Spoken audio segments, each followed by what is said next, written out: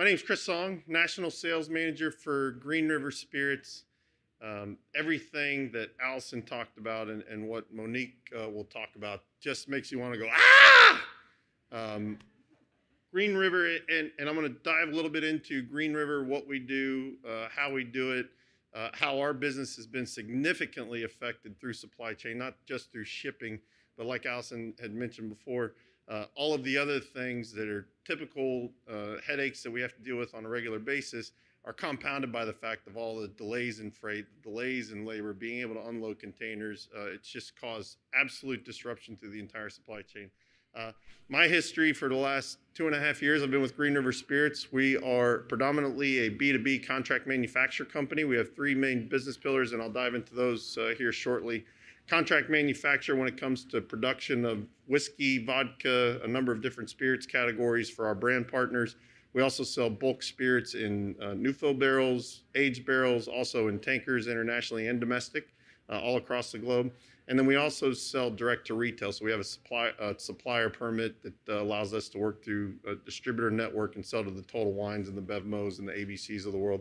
We've just added on a fourth business pillar called uh, our branded uh, business pillar, and we're actually reviving the Green River whiskey brand from 1885, thanks to our purchase of the distillery on the historic land where DSP KY10 previously existed. And I'll, I'll dive into that. Um, our business is a little unique because we're not like a Diageo of the world or a Sazerac of the world or a, a Beam Suntory of the world. Our business primarily is producing brands for other people, which is even more crucial for us to manage that business and our production uh, side for our brand partners because in essence what we've done is we've added a fourth layer to the three tier system. And so part of that delay in the supply chain like allison was mentioning every day i get a call from a customer says what do you mean? You told me it was going to be two weeks and now we're six weeks later and i still don't have any boxes for my goods or what do you mean there's no bottles that are available? Or you know what, what's the solution? So i'll, I'll dive a little more uh, into that here shortly so, like I mentioned, uh, Green River Spirits Company, we actually have two facilities one based in North Charleston, South Carolina, the other based in uh, Owensboro, Kentucky. We're the westernmost point on the Kentucky Bourbon Trail. Green River Spirits Company, actually, uh, Green River Distillery is actually on the same site that the original Green River Distillery was back in 1885. Uh, the family who actually owned the distillery was smart enough to renew that DSP license every five years. And so we're fortunate enough to have DSP KY number 10. So we're actually producing whiskey uh, where the original Green River whiskey brand was produced back in 1885. Uh, at, at the time, and I'm told up until Prohibition, uh, when there was a fire at the distillery, is the most advertised brand on the planet.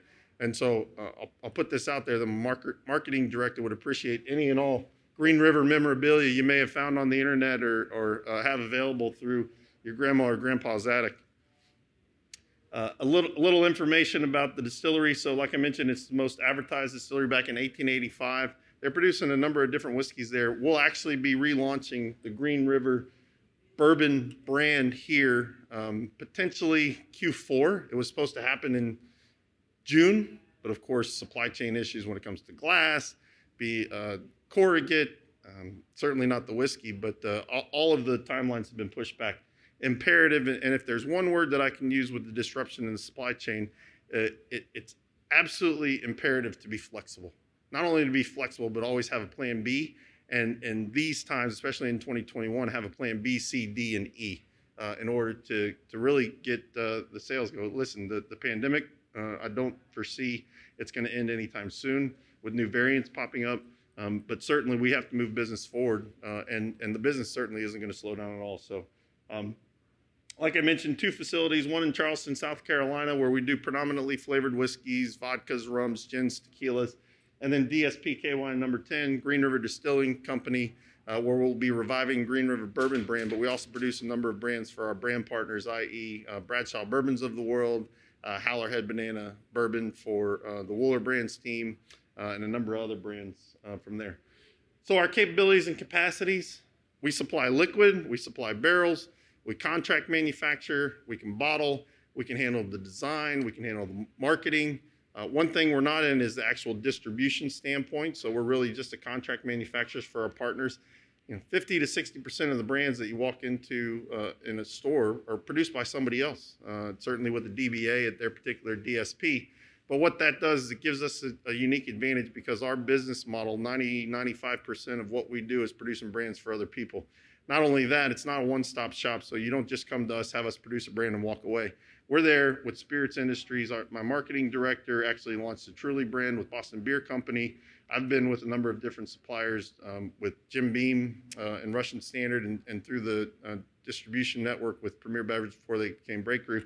So we have experts in each part of the industry that can walk our brand owners through uh, what it takes in order to get a brand from grain to glass or from concept to shelf. The third and fourth one there, I'll, I'll talk about in a little more detail production and logistics, um, and then quality control that comes with it. So, you guys are the first public people to see the new Green River bottle. Um, so this is this is our fourth pillar here on the right side. But like I mentioned before, bulk spirits, predominantly barrel sales and tankers. Private brands is what we call our contract manufacturer and B2B. Uh, absolutely maintaining and managing each point of the supply chain and the production side for our brand partners so that they can then act as supplier into the distributors of the world. And then retailer brands, which is direct sales to the Total Wines, ABCs of the world. And then our fourth pillar there, the Green River Bourbon brand. Uh, our intent is still not to become a branded business. The Green River Bourbon brand is really going to be the anchor for our private brand uh, customers and our pillars, the other three pillars, in order to have that anchor that, look, this is a brand that comes from the 10th oldest distillery in Kentucky. This is a place that you can build your brand at and the home of uh, whatever brand it is that you want us to produce for you. So let's talk a little bit about contract manufacturing and, and how we've been affected through the supply chain.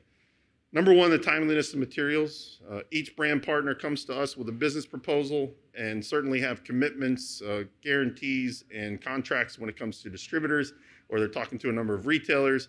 Uh, we no longer in the business of uh, taking orders and brands for guys who've been producing whiskey in their closet or in their backyard and want 150 to 200 cases. Our business really is producing for uh, the Palm Bays Internationals of the world, which uh, I'm talking uh, with Dave uh, here about a couple projects, but also for the major suppliers of the world.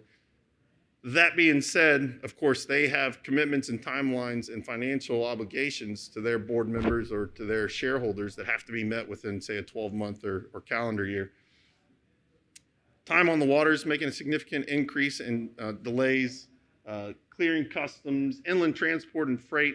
Uh, we've had a number of issues, and, and in any other environment, it wouldn't be any issue uh, with significant delay, i.e., we've got there's been a lot of consolidation within the bottle production industry. So large uh, bottle producers, uh, Owens-Illinois, are buying these smaller guys, and they're not keeping those facilities open. So what they're doing is they're actually uh, um, incorporating the old business into theirs.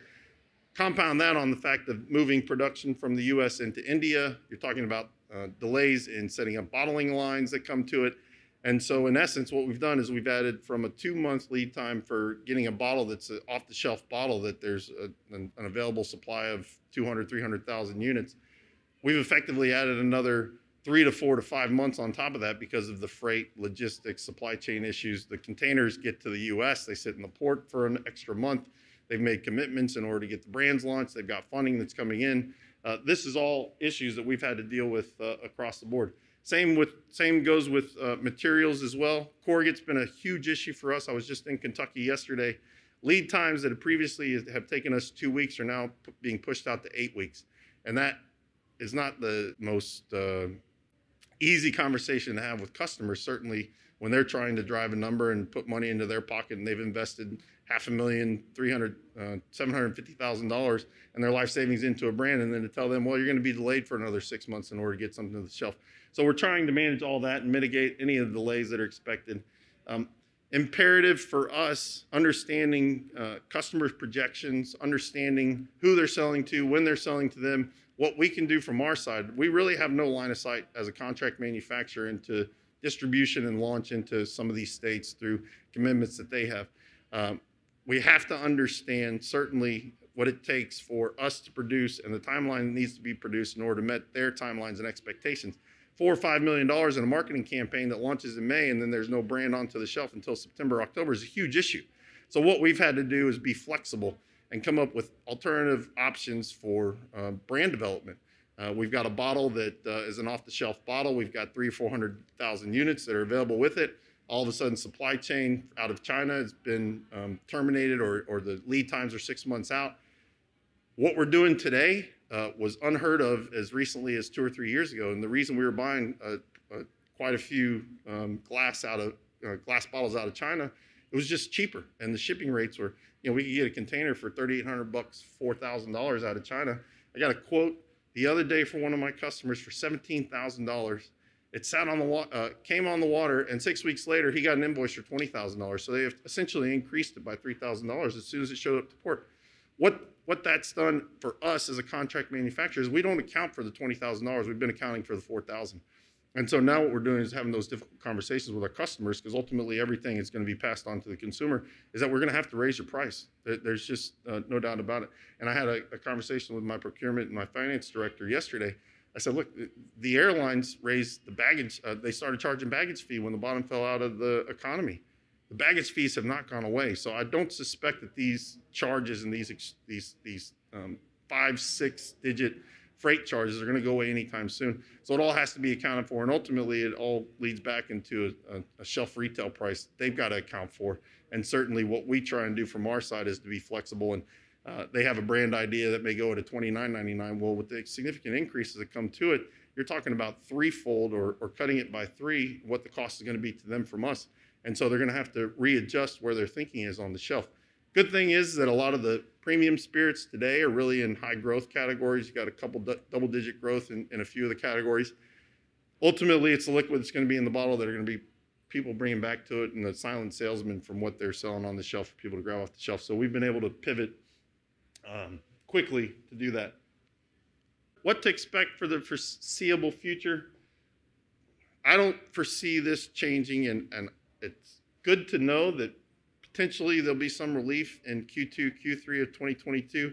But until that point happens, we have to operate today just like there'll be interruptions from a day to day basis. Uh, we've done everything we can. I have a couple of customers who, um, a, couple of our customers who are re- relatively brand new, launching brands in 2019, brand plans to do 15, 20,000 cases within a 12 month period. Pandemic hits in March of 2020 and essentially, we're sitting on five, six, seven, eight thousand cases in our warehouse because all markets have shut down, all on premises shut down, nobody's going out. Then direct to consumer sales start to open up between a number of the states and liquor boards.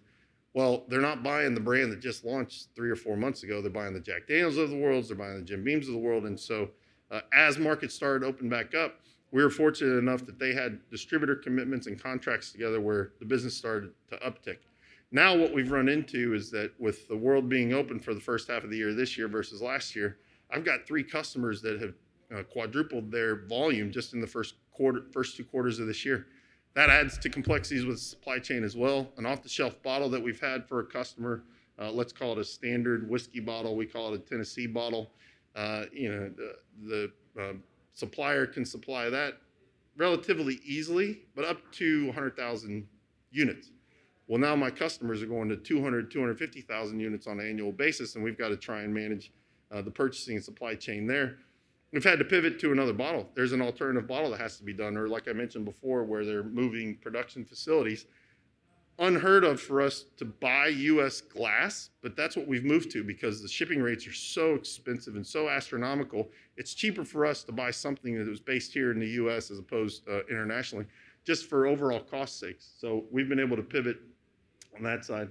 Um, assume that direct to consumer will continue to grow. I don't see uh, for the foreseeable future the three tier distribution system. I, I, I, don't see it ever going away. In all honesty, I think uh, the, the middle tier with the distribution side takes all of the risk when it comes to uh, distribution in the spirits industry for us, anyways. They're the ones that are the feet on the street. They're the ones that are doing the warehousing. They're the ones that keep the cases out of our facilities so they can hold the inventory and move it along. But I do see that there'll be a pivot towards direct to consumer with uh, my kids doing uh, school online for nine months out of the year, eight months out of the year. Uh, it all it's done is it sped up the process of us being able to sell direct to consumer with a pass through, certainly um, with the distributor or someone else on the other side. And then spirits categories, the value brands are always going to sell at the bottom. Um, not really um, instrumental when it comes to a, a full brand direction. Obviously, uh, the, the purchasing the, the value brands for a price point. but uh, you are going to see more segmentation and more premiumization, I believe, across all categories, um, even the ones that are uh, in decline today. I think rum is probably the one that's most in decline. But the high-end rums, the aged rums, uh, old age brands and products, I think will continue to grow and continue to rise. More importantly, if you have a friend or you have someone in the entertainment business, the celebrity has changed the entire spirits industry when it comes. Teremana Tequila is going to do 300,000 cases this year or more uh, in, in two, two and a half years. Kylie Jenner's brand is going to sell 100,000 cases in the first year that it's been released. That, that's absolutely insane. And that just hasn't happened in, in the 20 years that I've been in the spirits industry. But that celebrity, uh, the, the online focus of a lot of the um, young drinkers that are coming of age now to be 21, they're all, uh, they've been invested, they've grown up with the internet, they've grown up with celebrity. I don't see that going away anytime soon. Um, so I think it's imperative that uh, uh, we keep a track, keep track on the premium price points that are moving along. That's really it for me. Um, it's a lot of information to, to understand. You can go to our websites, greenriverdistilling.com, greenriverspiritscompany.com. It'll dive a little bit more into uh, our supply chain, what we do. Uh, it'll also uh, walk you through some of the costs that we have associated with uh, production from our side. But it's really imperative uh, if you're a brand owner, you're planning to launch your own brand, you're planning to distribute. these two ladies have um, some of the best knowledge that I, have ever been introduced to anyone in the industry. But it's imperative that you be flexible. Um, if you have a set amount of dollars in order to launch a brand, you have a set amount of dollars, and you have commitments to shareholders in order to uh, deliver something for the shelf, multiply it times three. The timelines that are associated with it, multiply that times three, and then work off of the one third that you actually have because, in essence, anything can get accomplished. Um, we've actually started, I've got a, a, another brand partner who's scaling to 120,000 cases this year. And in essence, uh, we've started to incentivize our bottling team to work later, 12, 14 hour shifts. We've also incentivized our bottle producers to pivot and produce our bottle in place of another bottle because everybody and their mother is having the same issues that we are. And so the costs start to accumulate. And we started to split that with some of our partners, but he's having to account for that now. So some of his marketing spend has been pulled back in order to account for supply chain issues. So be flexible. Uh, make sure you have extra in the kitty for whatever you need to do. Um, I'll leave it at that and, and let Monique dive into uh, Weinbo and the distribution side.